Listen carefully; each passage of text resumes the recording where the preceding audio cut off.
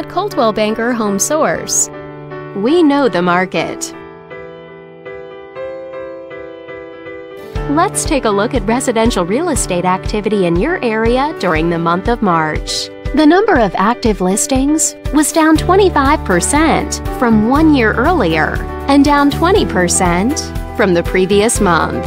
This smaller inventory means that buyers who waited to buy may have had a smaller selection to choose from.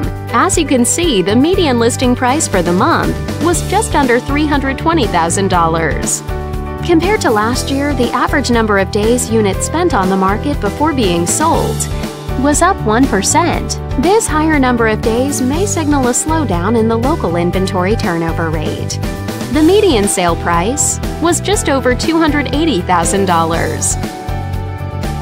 The number of units sold decreased 21% year over year and increased 80% month over month. Despite a slight annual decrease, this upward monthly sales trend indicates positive momentum. Thanks for watching.